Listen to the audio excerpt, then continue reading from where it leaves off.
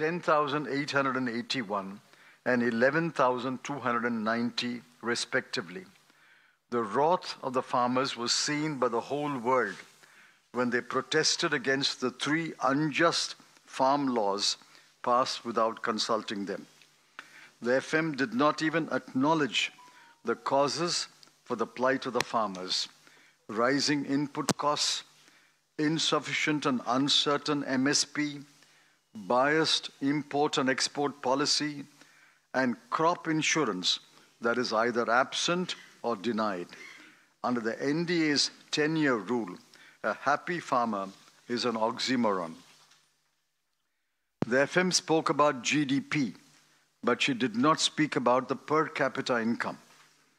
She spoke about free grain to 80 crore persons, but she did not speak about India's rank in the global hunger index or to widespread malnutrition among children, leading to a high proportion of stunting and wasting.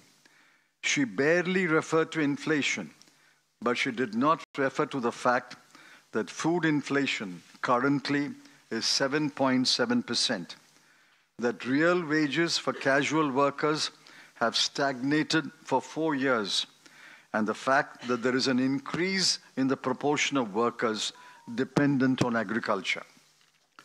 The boasts about establishing numerous educational institutions and AIIMS like hospitals must be pitted against the facts that thousands of teaching posts are vacant in central universities and central government established institutions, especially posts reserved for SC, ST, and OBC. The new hospitals do not have sufficient doctors, nurses, and supporting medical staff or equipment. The allocation in the 2024-25 budget for health is 1.8% and for education 2.5% of total expenditure. None of the boasts can be accomplished with such low expenditure. The FM spoke about minimum government and maximum governance. The minimum government policy, in reality, has undermined federalism, starved state governments of funds, and virtually reduced the third tier of governance, panchayats and municipalities, to ciphers. The overwhelming majority of the people are dependent on the third tier of government for their services, but that year have been virtually deprived of human and financial resources. Federalism has been considerably weakened by the central government taking over, rather usurping the executive and legislative powers of state governments. The fundamental flaw in the NDA's approach to the economy and governance is that it is biased in favor of the rich. It is a government of the rich, by the rich, and for the rich. The government is either ignorant or callous to the fact that the top 10% owns 60% of the nation's wealth and earns 57% of the national income, and that income inequality has widened significantly in the last 10 years. This outcome is because of the lower growth rate during the 10 year period, as against the UPA period. In the last year of UPA, 2013 14, we left a GDP growth rate of 6.4% and an average growth rate of 7.5%. In the NDA period, the average growth rate has been less than 6%. Since it is an interim budget, I shall say no more. However, the interim budget and what went before in the last 10 years have left us with a lot to talk about in the days ahead. Now I shall request my colleague, uh, Mr. Gaurav Gogoi, to say the substance of my statement in Hindi.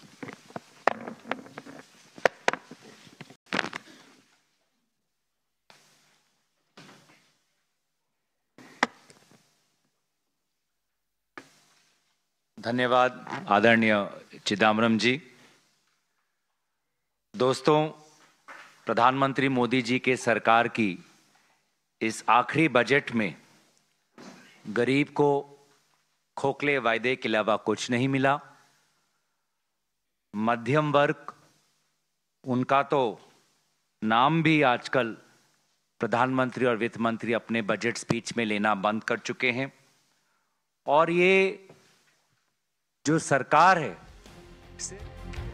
Right, so the Congress heading out at the centre after Finance Minister Nirmala Sitharaman presented the government's interim budget ahead of the Lok Sabha elections, saying that this is uh, nothing but, uh, you know, just uh, words at play that Finance Minister has presented in the Parliament that there is nothing for the poor of the country and uh, that it doesn't benefit anybody as such. So the opposition members, of course, uh, since the budget speech ended in the parliament, have uh, given their responses, their reactions to the interim budget presented by the finance minister Nirmala Sitharaman today, where they said that this interim budget is basically for the rich of the country and doesn't speak or benefit uh, anybody who is poor in India.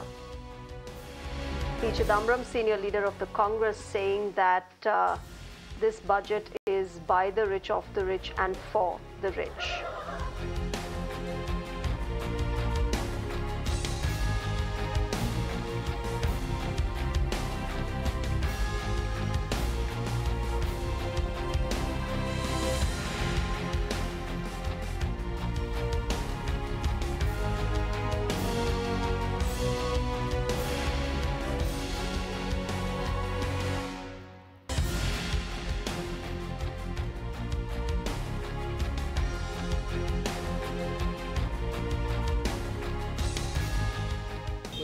Well, it was uh, one of the shortest speeches uh, on record in the budget, and not very much came out of it.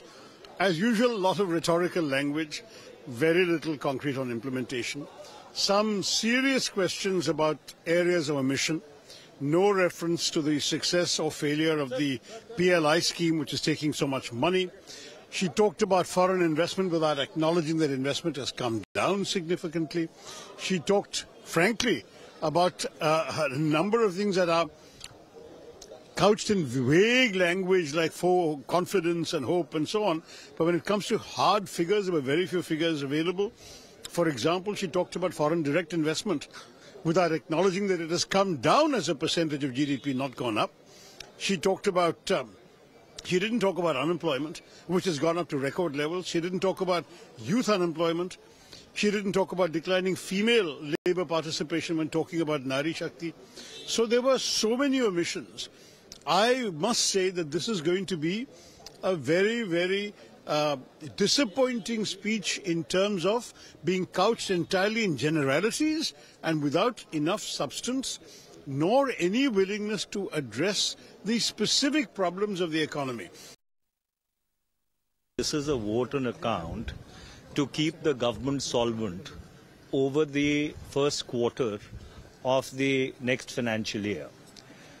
What is extremely worrying is the increasing fiscal deficit because the numbers which have been presented by the finance minister clearly demonstrate that over 18 lakh crores is the unfunded extent of the union budget for this year.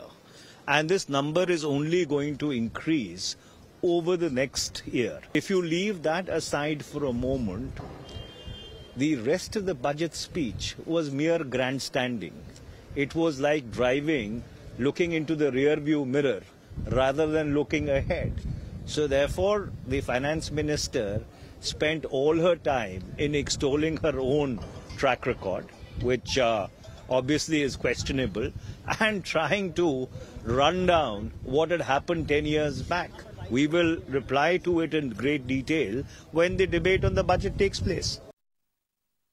असली budget तो जुलाई में आएगा entry budget में कोई ऐसी बात नहीं नहीं मुझे कुछ बताना नहीं है ये तो वही पुराना बजट चल रहा है जो काम में है वो करनी है